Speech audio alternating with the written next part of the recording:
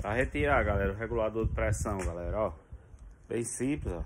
Só você com um objeto aqui, ó. Você tira essa trava, certo? Tira a trava aqui, ó.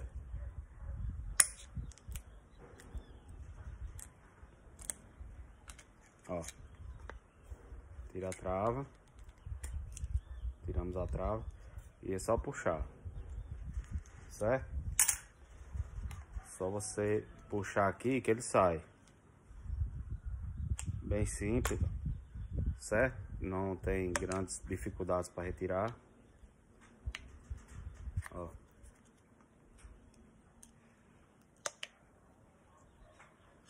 Ele tem um o-ring que fica aqui vedando ele, né? Isso aqui tem que ser um produto bem bastante vedado para não perder pressão, né? Tem que ter o sistema de vedação dele tem que estar tá bem é, tá bem vedadozinho, certo? Aí você puxa aqui e retira.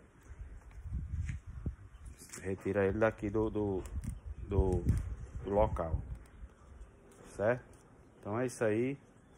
Bastante simples para retirar. Vamos tentar retirar isso aqui.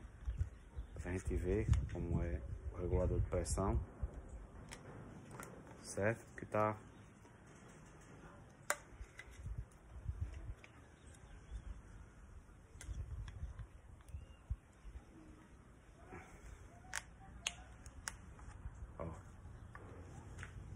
certo? Todo vedadinho. E aqui com os O-rings, certo? Regulador de pressão é isso aqui, galera, ó. Certo? Deixa seu like aí, galera, se inscreve no nosso canal, mais um videozinho aí.